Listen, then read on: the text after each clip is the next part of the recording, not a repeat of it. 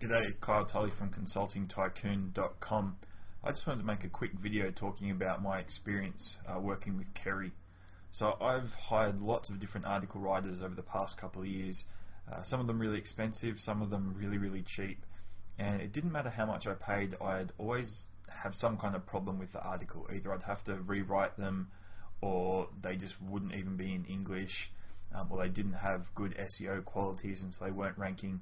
So I always had lots and lots of problems trying to find a good article writer and it got to the point where I just stopped doing any kind of article marketing at all for about three years. I just didn't even bother with it. It was just too much of a headache. Uh, and then a friend of mine who I know was getting some really good results with you know free article traffic recommended Kerry.